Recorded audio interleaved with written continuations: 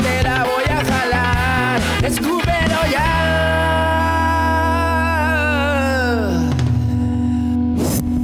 Esto es La Lengua. Una parte de tu carrera que también me pareció paja, en un momento te fuiste a conducir a, a Los Ángeles. Sí, a Los Ángeles. Esa fue una linda experiencia. Fue muy bonita. Te fuiste solo, ¿no? O sea, no, me fui con mi familia. Ah, sí, has ido con tu Sí, familia. eh, pero el tema es que mi hija mayor no es con mi esposa. Entonces, eh, se llama Julieta. Y ella tenía ocho añitos cuando yo me fui.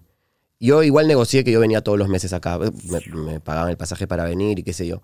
Pero el primer viaje, cuando fuimos para allá y, nos y a ella le tocaba regresar, eh, le entró un llanto, papá, ¿por qué me has hecho e-?" Ocho añitos, ¿sabes por qué me has hecho esto?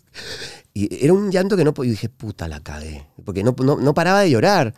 Hijita, que yo ya voy a ir en, en- en 20 días, que no sé qué, ¿por qué?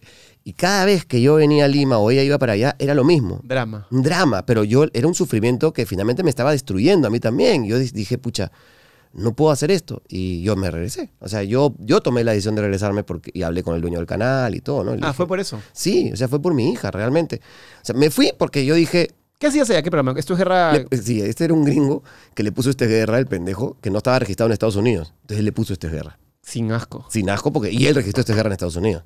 Entonces él le puso este guerra en Estados Unidos. Rico muchacho. Rico muchacho, rico muchacho. Y te dijo, y se llevó al conductor de esto es Y guerra. se llevó el conductor. Y tú, y tú sin asco te largaste sin que te dijeran nada en tu Pero canal? recién tenía un año yo en este guerra, ojo. Ah, ya, era- igual era una oportunidad de puta madre. claro, cuando, o sea, me costó tomar la decisión, pero como tú dices, yo miraba al techo, literal, de mi cama, en mi, en mi- en mi cama, y decía, ¿qué hago si no la tomo? Me voy a arrepentir toda mi vida de no haberlo hecho. ¿Qué hubiera pasado? ¿Qué hubiera pasado? Porque es un canal de Estados Unidos, de Los Ángeles, nada más. o sea, no era cualquier cosa que me, me estaban llevando, ¿no? Así que opté- to- tomé la decisión de irme. Y en el canal acá te odiaron, ¿no? Con Diego Quijano tuve una conversación. Le dije, te tengo una noticia buena y una mala. Este, y me dijo, "Eh, ¿tú sabes cómo la digo? No, eh, ¿cuál es, cuál es la, la buena? La verdad que no me acuerdo cuál es. Él siempre me dice, tú me dijiste una noticia, pero la verdad que no me acuerdo cuál era la buena y cuál era la mala. No sé cuál es la buena. ¿Y que no vas a pagar un sueldo más o qué? No, eh, ahí está, le dije, la- te, te empieza por la mala. La, la mala es que no voy a estar en esta guerra. Y la buena es que voy a trabajar en Estados Unidos. ¡Calla, cochita! ¿Qué imbécil? ¿Dónde cobro yo ahí? ¡Imbécil! Me dijo, a mí qué me importa tu noticia buena, weón. Y tuvimos una conversación fuerte. Él, él se molestó mucho. eh, pero finalmente entendió. Entendió. Mariana también entendió. Y me fui muy- con tan buena relación con ellos que finalmente regresé también a esto de guerra, ¿no? Pero cuando te fuiste allá, no era una franquicia. Él No, no, dijo, no. Él, él- él hizo su pendejada. Pues, Copy-paste. Mm, Sí, me- más agringado. ¿ah? A, mí, a mí particularmente no es la televisión que a mí me gusta, como por ejemplo, ¿a qué me refiero? Por ejemplo, había un juego, ¿no? Eh, le mete un palazo. Y después ponen el, oh, qué palazo que le metí. ¿Me entiendes? Es, eh, que es muy gringo, ojo, ¿ah? Que es muy de gringo. eh, De sitcom gringa, que te explican todo que más o te menos, explican todo. Te llevan de la mano para que... Exactamente. Está corriendo, no sé qué. Oh, qué carrera para más rápido. Pensé que se caería. ¿Me entiendes? Pero era para la tele latina en Gringolandia. Claro, era para O sea, lo hacías en castellano, evidentemente. Sí, en castellano, con, con una conductora colombiana y un, un mexicano que hacía de árbitro, ¿no? ¿Y cuánto tiempo estuviste ahí? Un año. Un año entero. Sí, todo el 2013.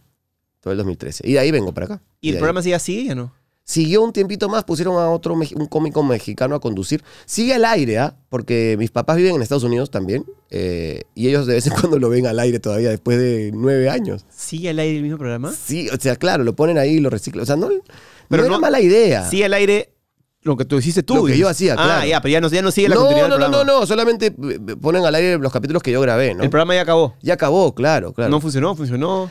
Eh, fu- la verdad que estaba funcionando. No, no era, no era esto es de acá, pero ni de locos, ¿no? Aparte, no, era, no, no me fui a Telemundo ni a Univisión, ¿no? Me fui a un canal que se llama Estrella TV, que es un canal para la comunidad, sobre todo mexicana. Mexicana, que es, pero sí se ve en todo Estados Unidos.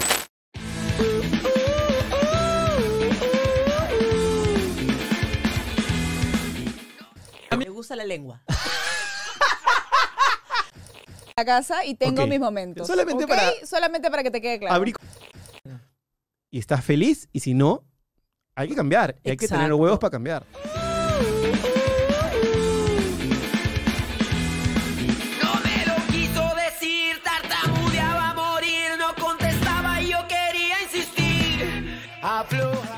¿Qué onda este mito de que si es que no eres mexicano no puedes conducir en, en- en Estados Unidos? Lo he escuchado, Sí. alguna vez me lo han dicho, o sea, amigos que he tenido, en un momento dije, oye, si me meto por acá, pero básicamente siempre escuchaba eso. Sí, o sea.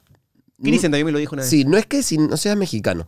Si usas palabras que el mexicano no entiende, eh, probablemente tengas problemas. Por lo tanto, es, es importante saber usar palabras, ¿no? Eh, nunca usar la palabra chompa, cosas que nosotros... Me tuve que sacar los peruanismos, ¿no? Calcetines. Ca- claro, tienes que decir, ¡Oh! Chamarra. Se mojó su calcetín, claro. Esa tienes que empezar a usar. Si no, sí puedes tener problemas, ¿no? Por suerte, eh, antes de salir al aire estuve un- como dos meses allá eh, viendo preproducción y, y en verdad hueveando también. Y este, entonces tuve mucho contacto con mexicanos y qué sé yo. En Los Ángeles estabas, Sí, en. Los Ángeles. ¿En qué parte? Burbank se llama. Claro, donde están todas las No, cosas. claro, no todos los estudios. De verdad es una chamba soñada, ¿no? En verdad que sí. No, No sé, no sé si el contenido, pero la oportunidad. no había cómo decir que no, ¿me entiendes? No había cómo decir que no. Pero finalmente sí, el, el- el amor por mi hija, el- el verla sufrir tanto, dije, pucha, a mí me encantaría tener, ahora que ya es grande Julieta y, y- y qué sé yo, La opor- la la, oportunidad o la oportunidad otra vez y decir, chepi, chepi, ahora sí. Pero eso, es, las oportunidades se dan una vez en la vida, como dicen, ¿no? ¿Y tuviste contacto con el, con el presidente de nuevo, con alguien de ahí? O sea, ¿no tienes algún contacto que te diga, oye, por acá estoy? Sí, hay gente ahí, pero me dicen que la situación no está buena. Finalmente este, este señor quebró el canal, entonces están en... en- Una joya completa. puta existe el canal todavía, existe el canal, eh, pero están... No, no, no están en un buen momento, ¿no? No están en un buen momento como para decir, oh, muchachos, acá estoy. Pero sí me gustaría hacer algo allá, me gustaría... ah, Vivir allá fue una linda experiencia. Vivir allá desde el punto de vista en el orden, todas esas cosas. Aparte de vivir allá trabajando debe ser una experiencia súper paja, porque por más de que cuando uno va de viaje, así te quedes un mes, creo que arriba de un mes ya uno puede sentir una experiencia más local, pero ya quedarte un año trabajando... Claro, O sea, conocer a la gente, la, la metodología de la gente y todo. Sí, en verdad fue una muy buena experiencia que, que me gustaría repetir en algún momento vivir allá. Porque como tú dices, ¿no? Más allá de cuando uno va de turista, que finalmente igual te encanta el orden. A mí me encanta el orden, el respeto. Cuando llegas a un pare, por ejemplo, el que llega primero sabe que este va a pasar primero, el otro respeta y pasa el otro. Y Nunca jamás hay una parte que, se- que se meta no hay antes. una toro. Hay una persona que pisa la, la pista, todo el mundo para. Puta, es locazo. Eso a mí me encanta. Eso es hermoso. Me encanta. Es- Es, es- hermo- sí. es una locura. Y- Chocante porque la realidad nuestra es bien difícil. es muy complicada. Y otra cosa que uno le puede criticar mil cosas a los gringos, ¿no? Este, pero el gringo es una persona honrada. Es decir, el gringo se encuentra una maleta de 50 mil dólares, te aseguro que el 85% va a una comisaría y devuelve esa maleta porque no es suya. ¿No? Esa- esas cosas son bien locas. En verdad es como, wow. Eh, una vez también yo fui a una a un bar, a una discoteca y ponte, ¿no? Eh, por la entrada te podías ir y pedir una cerveza. Pero no me dieron ningún... No, ya estaba dentro. Yo, pero ¿cómo pido? la- No, pide, ya entraste. Uy, y, y si pido tres, cuatro veces, no, nadie lo hace. Como que- y yo, puta. Ya te miraban como diciendo, "Sos imbécil, eres el único pe- pelotudo corrupto que quiere cagar el sistema. Acá la gente decente, no como tú. No mierda". des ideas, imbécil, claro. Claro, no, eso nadie lo hace. Ya, chucho, no dije, "Shh", no dije nada, no dije nada. Claro, ni se- y ya eh, escuchando eso ni se me ocurría hacer la pendejada. No te pierdas el video completo. Suscríbete y activa la campanita. Esto es La Lengua.